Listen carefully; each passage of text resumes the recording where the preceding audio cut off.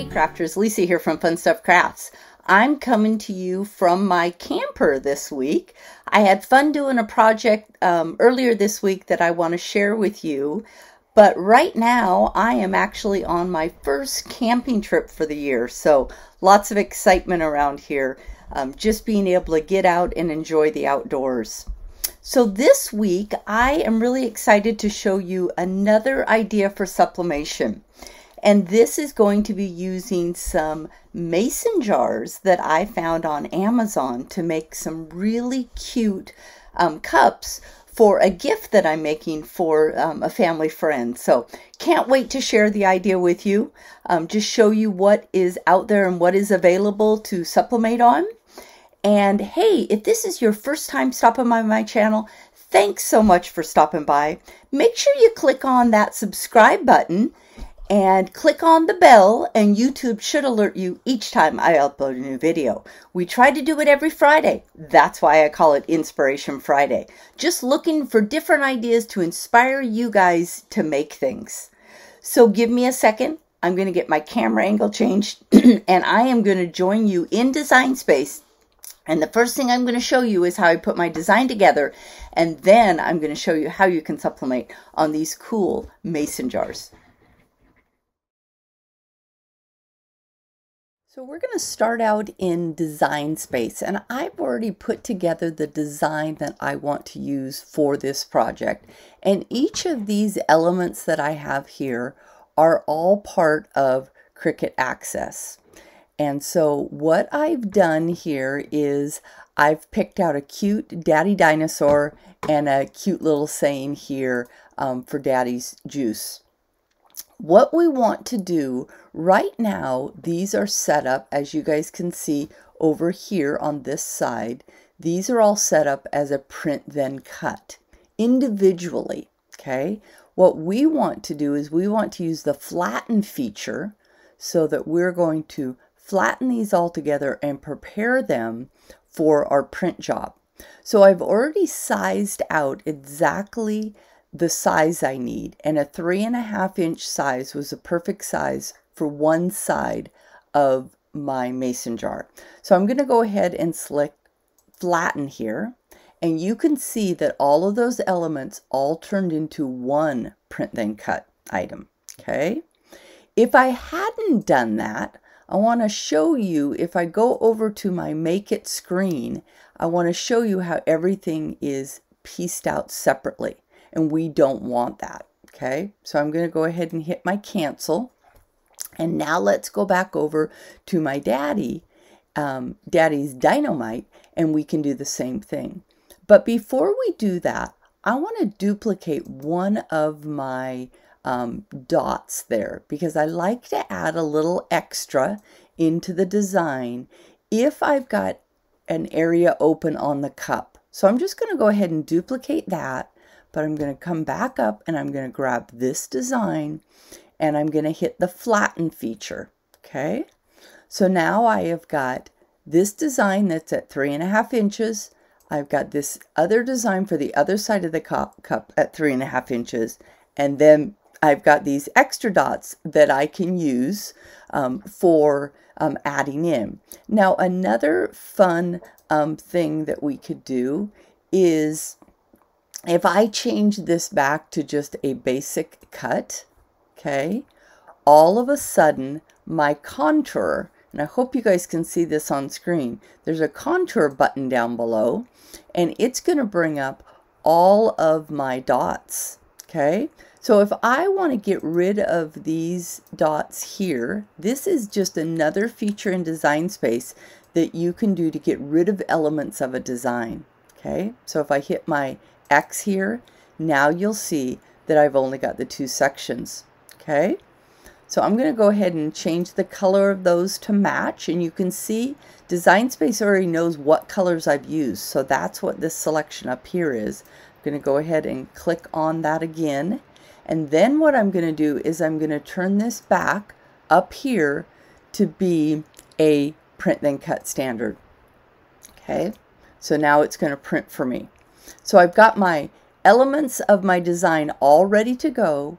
If I come over here to make it now, okay, it's going to have my designs here, and it's got a second one over here because everything couldn't fit. Now this is one of the disadvantages of using Design Space for making designs for your cups is you are limited on the print feature to what will print in this standard box. Okay, so I do use both Design Space if I'm doing a smaller design, or I use Canva for my um, designs. So what I'm going to do now is I'm going to go ahead and hop over um, to the print part of it. But before I do it, I want to show you a couple options. Um, you could switch this to mirror image right now, and then you do not need to worry about it in your printer settings at all, okay? Or if we leave it alone, I can come over here and I'm going to hit my continue button and I'm going to say send to my printer, okay? I'm going to turn off my bleed. Now these steps here in the printer section are really important for you to pay attention to. I'm going to turn off my bleed and then I'm going to turn on my system dialog and it's going to go out and it's going to look for my Epson 7210 okay and since I didn't use the mirror image feature in design space there's a couple steps that I want to do here first I always like to turn mine to best quality and then the second is on the layout, I'm going to um, flip it horizontally.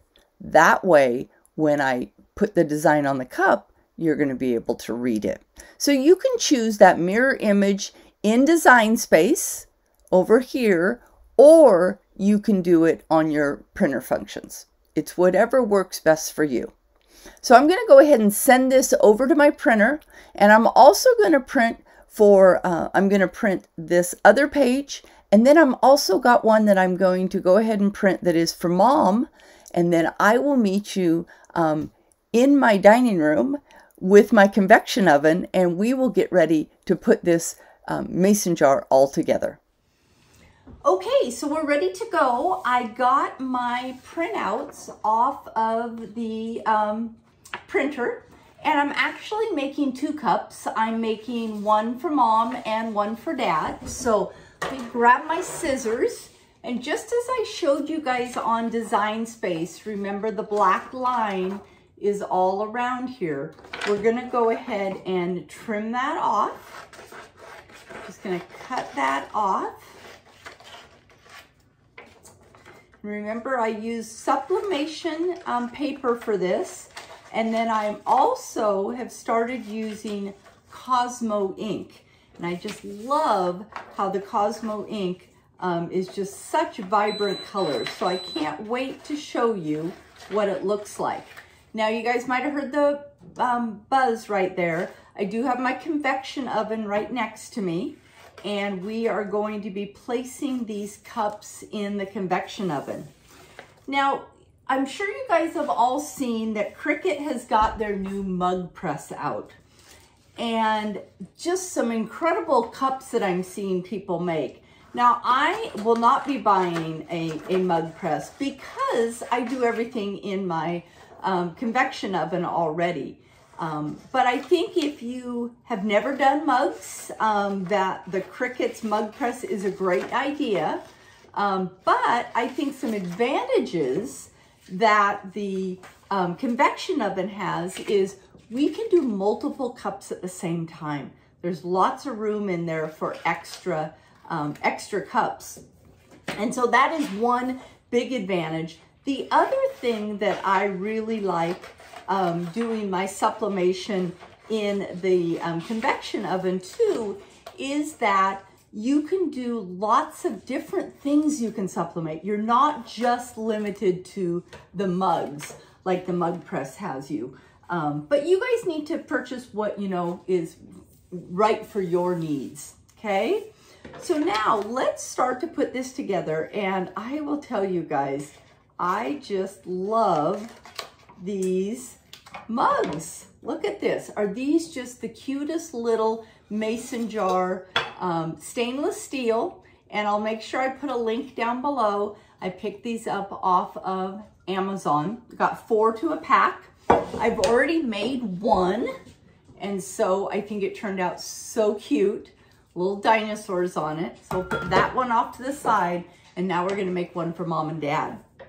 So I'm gonna be using my heat transfer um, or heat resistant tape. Really important to do that. I've got my design, I've got my shrink wrap, and you want to make sure you buy the heat resistant shrink wrap. Just basic shrink wrap does not work. Again, I'll put the links down below for you. And then I like to use a piece of laser paper, not standard copy paper, but laser paper, or you can use butcher paper, and I'll show you what I use that for. So the first thing I'm gonna do is I'm gonna put on my first design, and the first side is going to be mommy juice. And so one of the keys to sublimation is to get your ink adhered to your um, cup as um, tight as possible, okay? And so that's why I take my heat resistant tape. Now with the shrink wrap, we're definitely going to get it um, in there too, but I just want to get rid of any type of air pockets I have, and I do that with my tape, okay? And I don't want a lot of this tape to be extra because I'm gonna add those extra dots that we've got. So it's almost gonna look like a full wrap um, on this. So I'm just gonna go ahead and tape this. Um, and then what we'll do is we will put it, um, actually then we'll wrap a piece of paper around it and then I'm gonna put it in the oven. Now I've got my convection oven set, set at um, 360 degrees and we are going to do it for six minutes is how long it takes um, for the sublimation to um, really adhere good.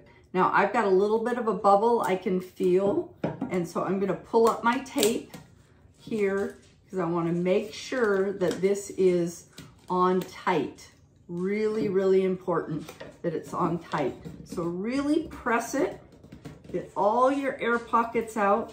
If you don't get your air pockets out, what is gonna happen is you're gonna have shadowing. Your ink's still gonna transfer, but you're gonna end up with some shadowing um, on your cup. So just like to get that in nice and tight, okay? So there's my first side. That's my mommy side. I gotta make sure I don't have my daddy piece here. Okay, there's daddy's. And then I got Mamasaurus for the other side. So I really want to kind of eat, see if I can center this as best as possible. Okay, and I'm going to go through the same process. Okay, I'm going to start on one side and I'm going to tape it and then I'm going to pull it as tight as I can and then I'm gonna add that extra tape, okay? So we're getting that on nice and solid. And then here too. And then what I like to do is, oops, one more piece there, Lisa. Then what I also like to do is I cut those extra dots out, okay? And I'm gonna put them down the side. So I'm not gonna use all of them, I don't think anyway. I didn't on the first mug. Okay. What I'm gonna do is just, I've got that opening right there, you can see. I'm just going to place these right in there.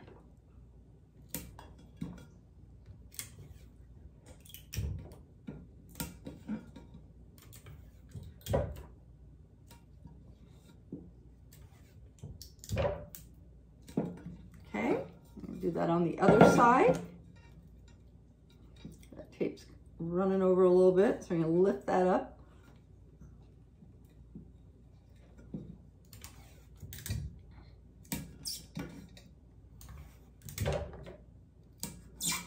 Okay, so now what I wanna do is I wanna take a piece, and remember you guys, this is laser paper, okay? I'm gonna take this and I'm just going to wrap because what I have found is sometimes the shrink wrap likes to stick to the mug, okay? And so this is my, just my little trick of making sure that we've got it all covered up, okay? So there we are. We're all covered up. Now what I'm gonna do is I am going to take my shrink wrap, and I've got a lot of shrink wrap here. I wonder if I can cut this one in half to save it. You know what? I'm gonna do that, you guys. I bought some extra long shrink wraps. And so these cups are not as tall as the skinny tumblers I've done in the past. So I'm going to, there we go, okay. Now what I'm gonna do is I'm gonna take a heat gun, okay, and I'm gonna, just to be safe, you guys, I'm gonna put my heat resistant gloves on, um, just because this heat gun does get nice and warm, okay. And what I'm gonna do is I'm gonna start to shrink this paper around here, okay. And we wanna get all the air pockets out that we can, okay.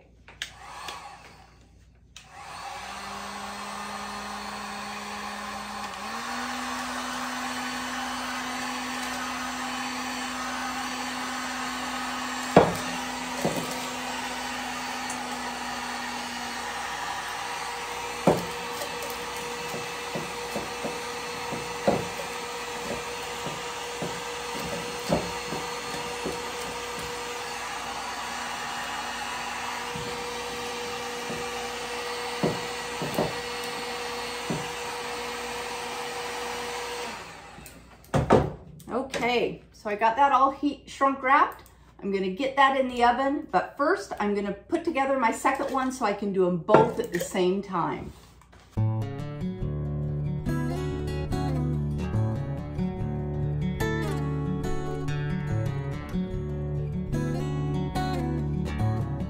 Okay, so I've got them both all done and I am going to set my timer here to be six minutes. And I am gonna pop these right in my little oven. I'll give you guys a closer up view of them in here. And I'll join you back. I'll join you back after the six minutes is up.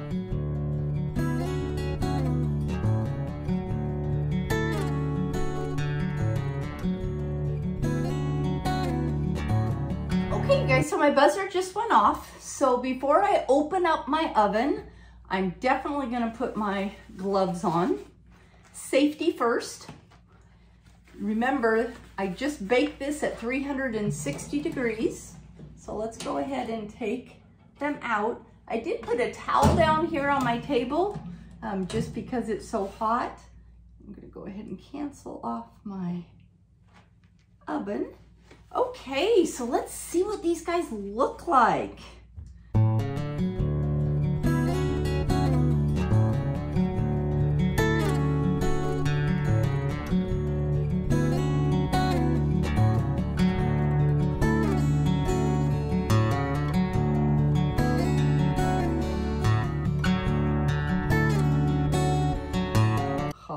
Daddy Juice, hands off.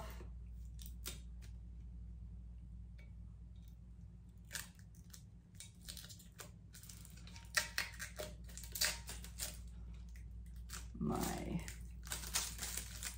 shrink wrap. I didn't bring my paper all the way up, so it's being a little ornery. I might have to take that over to the sink and do a little bit of scrubbing.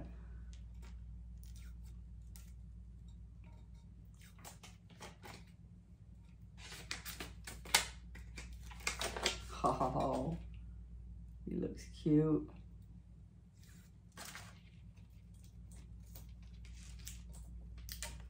Yeah, that shrink wrap, I'm gonna take that over to the sink and get it all washed off. It's peeling off for me, um, but I should have brought my paper up a little bit higher. But you guys can see how pretty those colors are. Let's do the second one.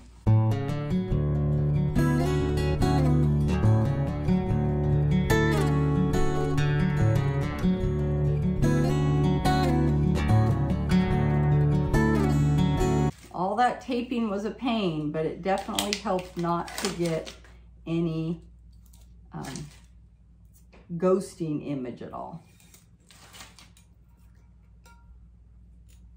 Okay, definitely got to get the rest of this plastic off up here from the shrink wrap. And it is peeling off, you guys. It's just, I should have brought my paper up further. But look how cute that looks. So the whole idea for this project I had is, let me get rid of my garbage here. I want to show you really closely a couple other things that I have got that I'm putting together for a fun movie night package for this gift. So I used my Cricut on this project. I picked up these metal trays at um, TJ Maxx and I used my Cricut to do the family fun and then I did some epoxy um, and did an epoxy pour over the top of it so it's all waterproof.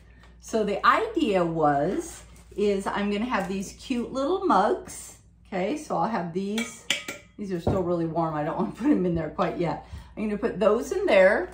I picked up some cute popcorn bags, so I'm gonna add that. I bought them a microwave popcorn popper and some popcorn. So I'm gonna put together this all and I'll show you a picture once I get it all together after I get the rest of this plastic off. But I just thought it was a cool idea. Um, so using my Cricut to cut here, um, doing some sublimation, printing here, but just all kinds of different ideas that you guys can come up with um, for gifts. So I hope this Inspiration Friday has inspired you to try some sublimation. I will make sure I get this all cleaned up and I'm gonna give you a close-up view of all of this. Thanks so much for joining me today. And here is our finished mason jars along with that tray. And just a close-up view of each one of them. I just love this theme of the dinosaurs. And so these mason jars are definitely sublimation blanks that I picked up off of Amazon. I'll make sure I have all the links for you down below. I hope you get a chance to try out this fun project. And if you're looking for more DIY type projects, don't forget to check out my blog at funstuffcrafts.com.